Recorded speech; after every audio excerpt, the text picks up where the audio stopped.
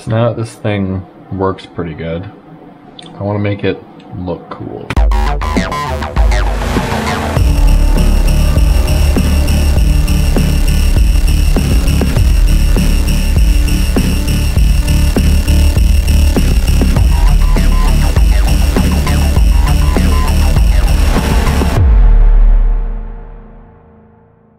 So I picked up this clear replacement shell for it, and we just have to disassemble the entire thing. First, we're going to take out the battery, and now under the warranty void sticker, I have a little razor blade here, and I'm just going to try and get in under the corner.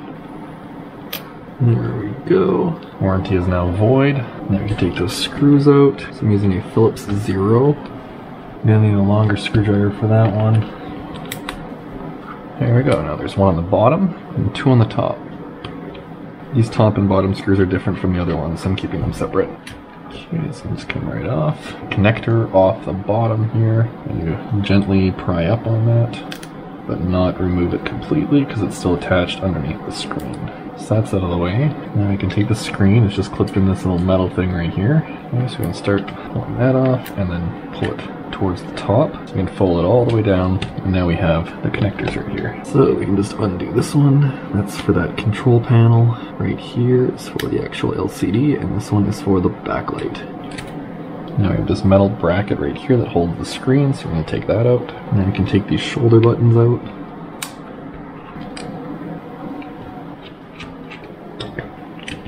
There we are. So now we can undo this brown one here, and this black one right here. There we are. Now we should be able to take this off. So that should just unclip from here. Take that cable out with it. And this right here, we can just slide that out.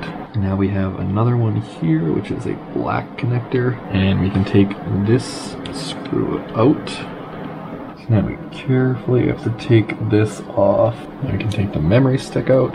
And this should just come right off. There we are.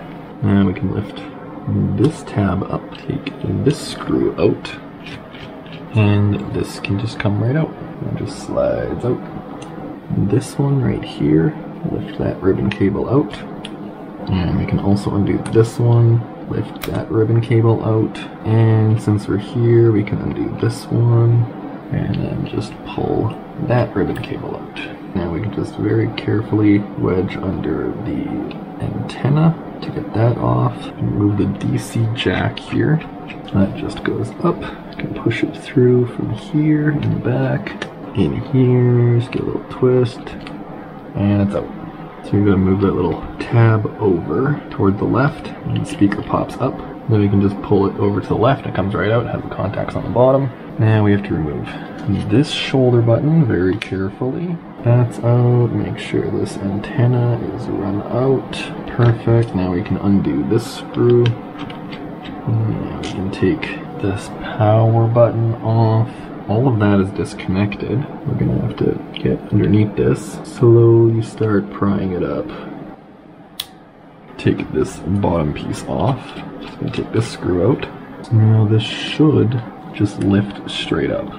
That's one. And this one just goes right beside it. And I believe that's it for holding this down, so this should just come out. Yeah, there we go. Now we can take this out, and this little spring. So this has to go forward and up. Okay, we'll put that here along with the spring. Spring just pulls out. And the little hooked area goes on the inside. The longer one goes on the outside. I guess we can remove this. Just a little common ground. I don't really see anything else that we can remove from this side. There's a little rubber block. So let's switch over to this side. Open this drive. And now there's two little rubber things right in here. Gotta take those out. That's one and two. Now we should be able to just push these out because now there's no rubber block in the way. There we are. And we can just pull that tray right out. Perfect. Okay, so let's take this, open it up. Now let's try and pull this out like that. Awesome. And now this just comes right out. There we go. Four more screws right here for the UMD. Now this should just come out. There we go, make sure those ribbon cables aren't in the way. Now we got a little piece of plastic here. That's for the release. Now we just gotta take this top piece off. There we are. Another one in here. One more here. And then it should just come right out. There we are. Now you can see a little spring right here. Make sure that doesn't get missing. Now this just has two clips right here and right here. And my thumb over the spring so it doesn't go flying.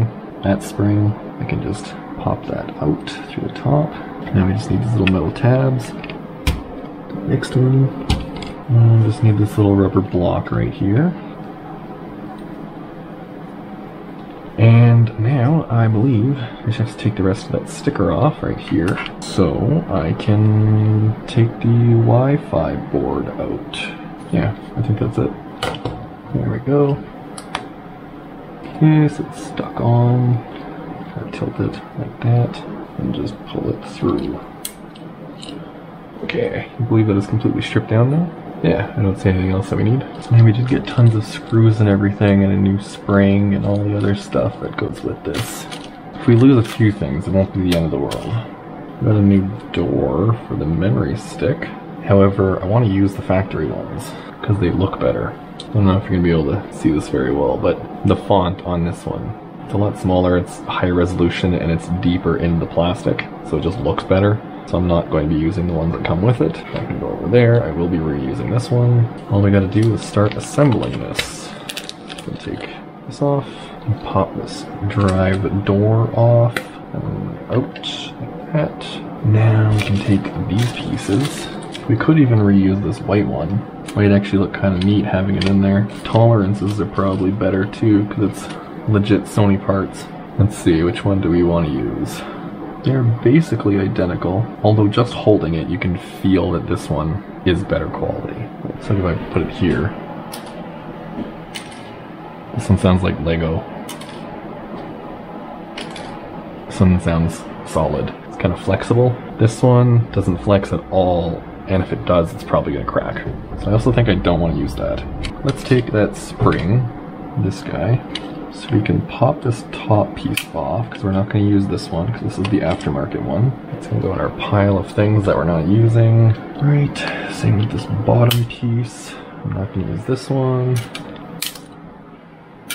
So now this has to go in that hole. So these go in with the little hook facing down. So those are in.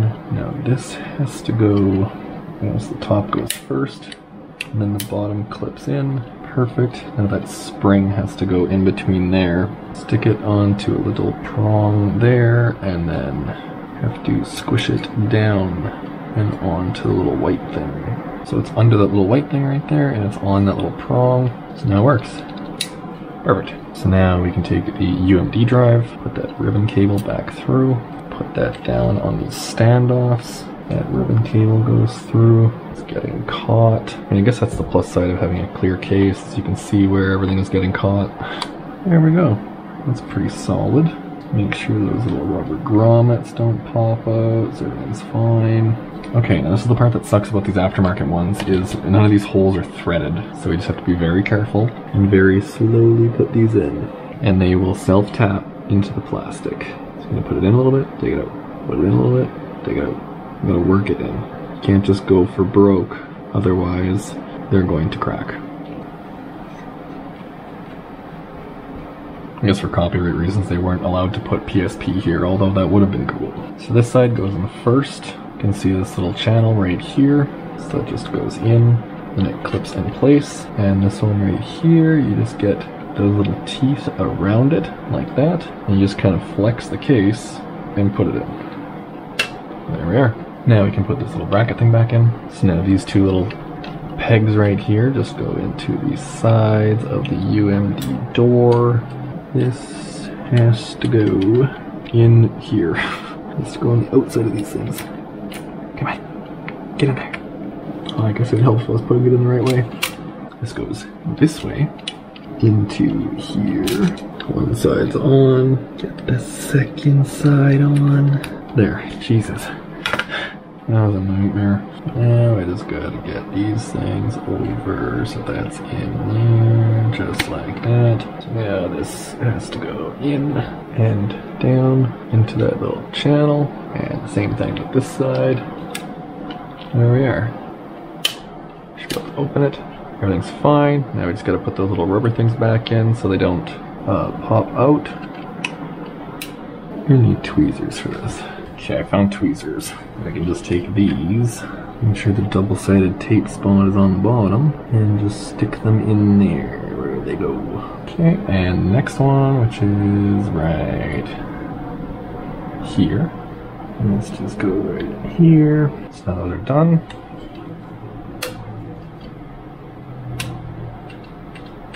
Everything works. Perfect. Now I can pop off this battery cover and we'll take the Wi-Fi antenna and we'll put that in. So that just goes through like this. There we are. And there's these two little prongs right there. So that goes on that. And then it just sticks down like that. And we can take the sticker and we can put that back on. Okay, there we are. Now we can put that spring back in the bottom here. So we can use this new one, or we can use the factory one. And I'm going to reuse as many factory parts as possible because they are better quality. So now this has to go in through here, like, th like this, and then this has to get pushed down and into that hole. Can make sure it's in there. Now we can use the white one because this clear one is really sketchy. In like that and just clips in place. There we go, so that holds the spring in. Make sure the switch is in the same orientation as the switch in here, so they're both toward the right. And this just clips in place. Oh, wait, this has to come back out. Forgot to put this little rubber thing in, goes right here. And I forgot to put that common ground in. Now we can put this back. So make sure this corner goes under, make sure the port goes in. There we go sure goes into those alignment pegs. The antenna is now in place. Lay this down over top. Just goes on this peg right here. And just goes on there. Now this guy can just slide in and it just sticks down. So now let's put these back on, which also has the barcode on the bottom for the serial number. So that's neat because it will still match. It's gonna get these little things to all slide in place. Now this one actually has to go behind it. Put that part in first, and then slide it down. There we are. Awesome. Now we can put this board back in for the power switch. So we can put that ribbon cable in, and just make sure it falls right in that channel for the switch. Just like that. Awesome, now we can screw it in. Now I guess since we're here, we can plug these in. Pop this one up, and this one. Now we can do the speaker, and that was relatively easy. Gonna make sure the little tab goes underneath there. And then this one just has to move over, so it locks on top of it. And that speaker's in. Now we can do that DC jack right here with the screw. Wrote the cable management. Just lift this up let me get that in. Screw for that. I'm just gonna make sure this ribbon cable goes in there. So it has a little channel where it's supposed to go and it's not gonna bind. Now I believe it is time for the joystick. Now I can pop the black one off. We can put the clear one on. Perfect. And we can just take the connector and put it in there. Okay, good. Close it. And now this just slides in. Now the screw for the thumbstick. Can also put the screw in for this trim.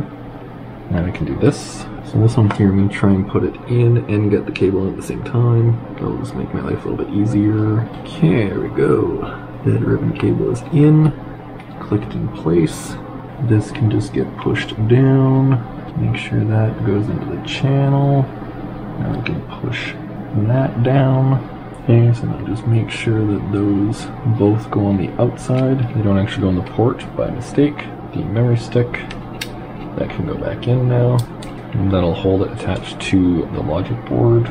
Now we can do these shoulder buttons, I guess. So now let's put that screw in. Okay, now we can put this little thing back together right here. And we can lift these, this one, and we can put those back in. Now this one just go in, go in more better. There we are. Put that down. And now we can put the display back on. Maybe I should reuse the black buttons. Hmm.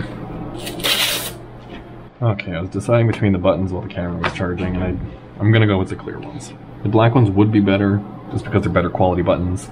Like these ones, emblems are just painted on, so they're gonna wear out right away, but they do just, they look better than the black ones. The black ones just stand out a lot. Put that in there, get the display, just that one, and this one. Okay, so let's make sure that backlight cable is in, good. Make sure that display cable is in. This little metal bracket has to go in. It goes into this corner right here, so that way the display can come down, and then it latches into it, holds it all nice and straight. That clips in. So now, in theory, this should work. Pro recovery menu. So there's a button being pressed. Works. Just gotta problem solve the buttons now. Okay, so after more messing around, I realized what the issue was. When I took this off and I was prying across the bottom to remove the adhesive, it actually damages this inside piece right here, which always makes contact with it.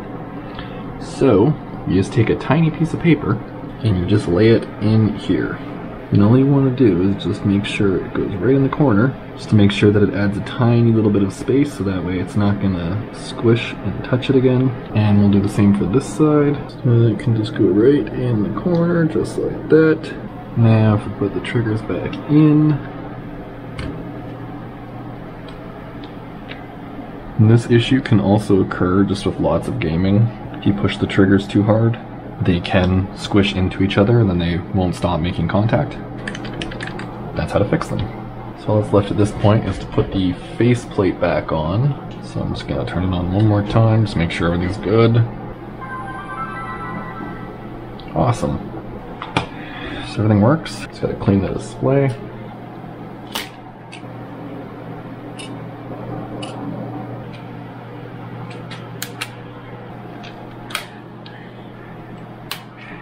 Okay, so now we can put the whole thing together. These two small ones go on top. This wider one goes on the bottom. Now these last four screws.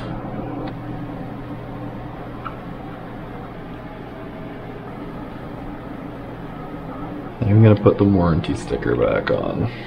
Make it look legit. Perfect. Battery in cover on. That side isn't sitting right. It's all done. I put Rock Band in there, so let me turn it on.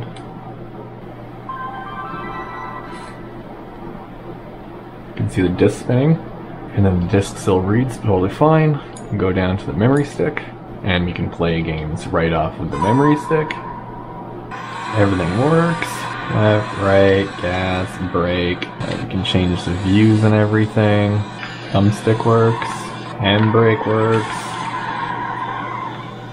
Look behind us. go back to the main menu. Everything works. This thing is like perfect. We even have the VSH menu, so we can overclock and underclock. We can change which USB device we want to connect to. And then we can shut down or reboot it right from this menu. So hopefully you got something out of that. Absolutely sucked trying to take this thing apart and putting it back together. Uh, like the video, dislike the video, subscribe if you haven't already. There's a join button if you want to help support the channel. All the tiers are the same. All you do is you get access to the VIP section of the Discord, as well as watching any of the videos the second they're released instead of waiting for the upload times.